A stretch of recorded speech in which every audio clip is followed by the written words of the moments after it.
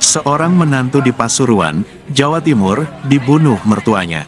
Padahal wanita bernama Fitria Almuniro Hafid Lohdiana sedang hamil tujuh bulan. Kejadian tragis ini terjadi di Desa Parirejo, Kecamatan Purwadi, Pasuruan pada Selasa, tanggal 31 Oktober tahun 20, 2023, sore. Pembunuhan ini diketahui saat suami korban yang bernama Sueb pulang kerja dan mendapati istrinya tergeletak do kasur dengan bersimbah darah. Saat dalam perjalanan ke puskesmas Purwadi, korban meninggal dunia karena kehabisan darah. Korban diduga dihabisi mertuanya sendiri. Dikutip dari surya.co.id, Kapolsek Purwodadi AKP Pujianto mengungkapkan kini, mertua sekaligus terduga pelaku telah diamankan. Terduga pelaku yang bernama Khoiri sempat melarikan diri ke rumah tetangganya seusai membunuh menantunya.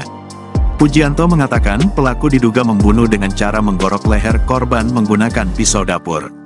Dijelaskan Kapolsek, warga tak berani menangkap pelaku karena pelaku masih membawa pisau.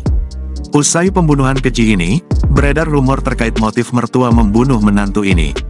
Mulai cinta segitiga hingga dugaan pemerkosaan. Namun sejauh ini polisi masih menyelidiki motif pelaku membunuh korban.